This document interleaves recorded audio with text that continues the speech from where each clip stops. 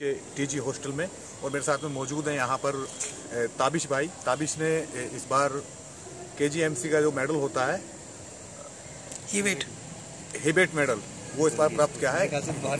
हिबेट हिबेट medal उन्होंने प्राप्त इस बार हासिल किया है। और ये आपको बता दें कि इस सबसे पहले ये मेडल 1935 में डॉक्टर एम खान को मिला था और उसके बाद में पहली उसके बाद में आज़ादी के बाद पहली बार ये मेडल जो मिला है, ये ताबिश को मिला है। ताबिश मुजफ्फरनगर के निराना गाँव से ताल्लुक रखते हैं। तो मेरे साथ ताबिश मौजूद है। ताबिश भाई, कैसा महसूस कर रहे हैं आप? उन्नीस सौ पैंतीस के बाद आपको ये मेडल मिला है। क्या फील कर रहे हैं आप? सबसे पहले तो मैं अल्लाह का बहुत बहुत शुक्र अदा करना चाहता हूँ। और मतलब मेरे लिए खुशी की बात भी है और एक गम की बात भी है कि इतने साल गुजर गए, किसी मुसलमान लड़की को अभी तक ये मुकाम हासिल नहीं हुआ था। तो हम सबको ये सोचने की भी ज़रूरत है कि हम तालीम में कितने पीछे हैं इस वक्त। और ये खुशी की ये बात है कि हो सकता है इन मेरे बाद अब बहुत लोग इन और सबको भी ये मुकाम मिलेगा इन तो ये मेरे लिए बहुत गर्व की बात भी है। ताबिश आप उस इलाके से आते हैं जहाँ काफ़ी मारधाड़ वाला इलाका है और मुजफ्फरनगर हमने अभी देखा है आपने भी आप, आपको भी याद होगा आप उस इलाके में एजुकेशन के मामले में बहुत पीछे है। जस्टिस सच्चर की रिपोर्ट भी ये कहती है कि मुझे जो पश्चिमी उत्तर प्रदेश का जो इलाका है, मुजफ्फरनगर, वो काफ़ी पीछे है। और आपने उस इलाके से और दूसरी बात है ग्रामीण स्तर से उठ करके आपने पहले सी में अपनी जगह बनाई 2011 में। और उसके बाद में आपने मेडल प्राप्त किया है तो आपको क्या लगता है कि ग्रामीण स्तर का बच्चा अगर चाहे तो ये सब चीज़ पा सकता है क्या? हाँ बिल्कुल, आप सही कह रहे हैं कि मुजफ्फरनगर में मतलब अब तो माशाल्लाह काफ़ी लोग आने लगे हैं पढ़ाई में, लेकिन फिर भी उस लेवल का नहीं है। मुसलमानों में तो खासकर ख़ास तौर पे एक तो ये है कि भाई लोग पैसे के चक्कर में है शुरू में ही सोचते भाई टेंथ क्लास में है नहीं इसको पहले ही बता देते हैं अपने बच्चों को उसको तो सऊदी अरब जाना है भाई। फिर वो बंदा भी क्यों पड़ेगा भाई? इसको पता है पहले ही वहाँ जाना है। नहीं तो एक तो ये बहुत गलत चीज़ है जो मैं देखता हूँ। और एक ये भी है कि भाई उनके लिए कोई एक वो भी नहीं है भाई आइडियल भी नहीं है। उनके लिए मोटिवेशन नहीं है कि भाई हमारा वो दूसरा भाई गया है उसका अच्छा सिलेक्शन हुआ है बहुत अच्छा नाम कमाया है उसने। ये भी हमारे सामने नहीं था क्योंकि इतना अच्छा नहीं निकला है। अभी माशाल्लाह मेरा निकला है। तो मेरा यही मकसद रहता है कि काश कि मुझे देख के भाई दूसरे लोग भी आए मेरे छोटे भाई वो सब करते भी है नहीं? और दूसरे लोगों के लिए भी भाई कि भाई कुछ लोगों की सोच एक्चुअली ये होती है गाँव वाले लोगों की सोच ये होती है कि पढ़ के भाई नौकरी तो लगती नहीं है किसी को। ऐसे बोलते हैं जो पढ़े लिखे नहीं है मैं देखता हूँ। तो एक्चुअली वो ये सोचते हैं कि पढ़ने का मकसद यही है सिर्फ़ आपकी नौकरी जॉब लग जाना।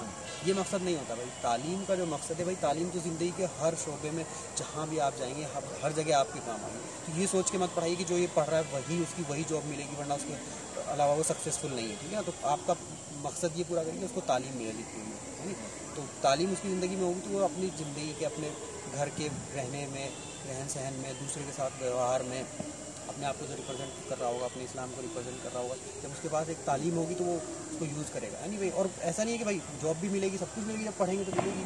है नहीं? तो ये सोच को हम बदलना है कि भाई तालीम जो लेनी है वो पूरी ज़िंदगी के लिए हमारे और पूरे आगे की नस्लें सुधर जाती है। नहीं? तो अभी आप एमडी करेंगे आगे? हाँ हाँ माशा मेरा उसमें एम का एग्ज़ाम भी हुआ है। एमडी का भी ऐसे ऑल इंडिया एग्ज़ाम होता है। ऑल इंडिया नीट बोलते हैं उसको नीट जितने भी मेडिकल कॉलेज हैं ऑल ओवर इंडिया के उन सबका एक एग्ज़ाम होता है। लगभग one lakh one lakh two one lakh twenty thousand के आसपास में एम बी जो पास आउट होते हैं वो एग्ज़ाम देते हैं। तो उसमें माशाल्लाह मेरी आठवीं रैंक भी आई माशाल्लाह। इंशाल्लाह मैं की बात है। इंशाल्लाह तो एम डी मेडिसिन में इनशाला मेडिकल कॉलेज से आप आपको किससे प्रेरणा मिली कि आपको मेडिकल लाइन में जाना है? आपका एम बी मेरा ये कि मेरे मतलब पहले से ही मेरा एक ही मन था। मेरा बहुत मन करता है कि मैं, मुझे लगता है कि दूसरों की हेल्प करने से इंसान को बहुत खुशी मिलती है। तो मुझे इस इस लाइन में जाना था मुझे डॉक्टर की लाइन में जाना ही था। इससे पहले भी बहुत बार ये क्वेश्चन पूछा कि मैं इसलिए भी बताता हूँ कि कहीं मैं भूल ना जाऊँ उस चीज़ में। नहीं तो ये खिदमत करने का एक जो है ना, वो इससे अच्छा रास्ता नहीं हो सकता है। अगर आपको इंसानियत की खिदमत करनी है तो मुझे लगता है कि ये सबसे अच्छी लाइन है। तो इसीलिए मैं मेडिकल फ़ील्ड में लेकिन आज जो हालात हो चुके हैं जैसे जो डॉक्टर हैं वो मेडिकल माफिया बन चुके हैं क्या इस माहौल में आप जो ये चैलेंज है आपके सामने इसे तोड़ पाएँगे आप? सही कह रहे हैं आप प्राइवेट प्रैक्टिस में आजकल बहुत हालात ख़राब हैं लेकिन ऐसा नहीं है हंड्रेड परसेंट डॉक्टर्स ऐसे नहीं है। मतलब बहुत अच्छे अच्छे लोग भी हैं इसमें। उनका हमको सब हम तो जिसके मतलब जिससे हम हमका हमारा वास्ता पड़ता है तो उसी को जानते हैं तो ऐसा नहीं है कि अगर खिदमत करना कोई चाहता है और उसका मकसद खिदमत करना है तो इन वो कर, कर सकता है वो कर सकता है। तो जैसे आप असल में आप उस धर्म से हैं आप उस समुदाय से हैं जो जस्टिस सच्चर की रिपोर्ट में है और तो जब आप करके सब चीज़ें आते हैं तो एज ए मुस्लिम आप क्या सोचते हैं? आपको ये मेडल मिला उसके बाद में आप फिर आपने ये नीट का एग्ज़ाम किया सबसे स्टार्टिंग में आपने पहले सी पी एम टी निकाला उसके बाद में फिर ये मेडल।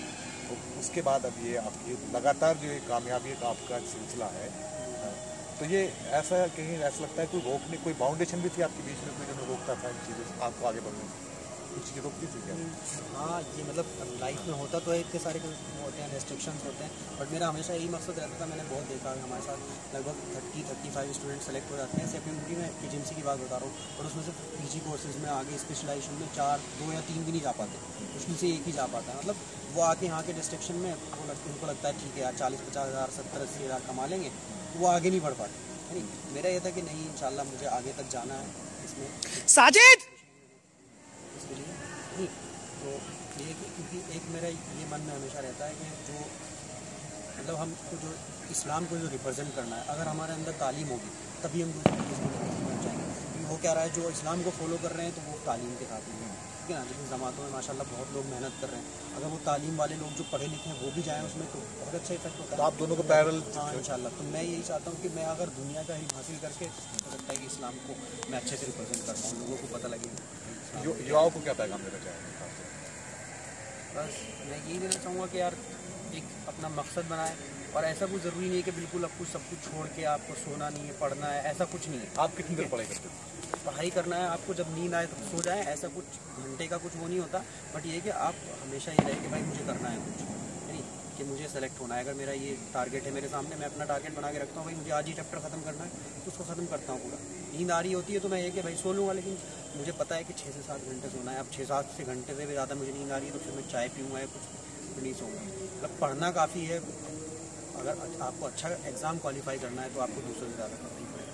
तो बहुत काफ़ी एग्जैक्ट ऐसा कुछ नहीं होता बट ये कि हाँ आठ दस घंटे तो इतना है पढ़ते हैं। अच्छा जो लोग, ये जो जो डॉक्टर लोग आजकल घुसाए हैं इस फ़ील्ड में और वो लाश पड़ी रहती है और वो दो सौ चार सौ रुपये के ऊपर लाश नहीं देते। और लाइन लगानी पड़ती है। ये सब चीज़ें जो होती हैं थोड़ा दुख दिल दुखता है आपका।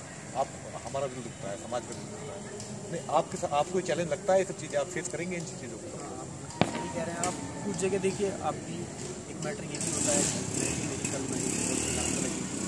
हमारे पास पेशेंट ओवरलोड इतना ज़्यादा होता है डॉक्टर्स इतने ज़्यादा हैं। अब इमरजेंसी के पचास साठ पेशेंट आ रहे हैं जल्दी जल्दी और डॉक्टर इतने कम डॉक्टर की बहुत कमी है इतने कॉलेज में इतने कम डॉक्टर होते हैं। वो अब दो दिन से सोया नहीं है तीन दिन से तो इरिटेबल हो जाता है। ये बहुत बड़ा मैटर है। कितना भी बड़े से बड़ा डॉक्टर थे वो सोएगा ही नहीं तो वो फिर इरिटेबल हो जाते हैं। कुछ चीज़ें और कुछ मतलब गड़बड़ कर भी रहे हैं। देखिए कि अगर खिदमत वाला होता है इंसान के अंदर दिल से अल्लाह को मानता है तो फिर वो इन सब चीज़ों को आप ऐसा नहीं करेंगे नहीं नहीं इंशाल्लाह मैं बिल्कुल मेरा तो मैं तो इंशाल्लाह बिल्कुल नहीं करूँगा। लेकिन मैं ये कह रहा हूँ कि मैं उनको कम्प्लीटली भी नहीं मैं उनको प्रोटेक्ट कर रहा हूँ बट कह रहा हूँ कि कहीं ना कहीं उनकी पूरी गलती नहीं है। ओवरलोड बहुत ज़्यादा है। गवर्नमेंट सेटअप में तो है। उनको दो तीन दिन अभी मेरा पीजी में अभी सिलेक्शन हुआ है। उसके बाद जो मेरी ट्रेनिंग होगी ट्वेंटी टू आवर्स की ट्रेनिंग होती है दो घंटे को सोने को मिलता है, दो या तीन घंटे को, है ना? तो उसमें ये कि बड़ी, बहुत मुश्किल होता है शुरुआत के दौर में।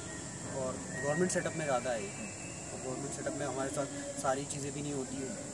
उतने इक्विपमेंट नहीं होते हैं। तो वो, उसकी वजह से पेशेंट का गुस्सा होता है कभी कभी होता है डॉक्टर का। नहीं प्राइवेट सेक्टर में हाँ मैं मान रहा हूँ कि भाई तरीके से बिज़नेस बना लिया है अगर नौ नौजवानों के लिए एक लाइन में कुछ कहिए नौजवानों के लिए अपने कम्युनिटी के लिए देश के नौजवानों के लिए वो सारी चीज़ें सारी चीज़ें एक लाइन में कुछ कह पाएँगे? क्या करना चाहिए? मैं तो कहूँगा stop wishing and start doing अब बस करना शुरू कर दीजिए सोचते मत रहिए।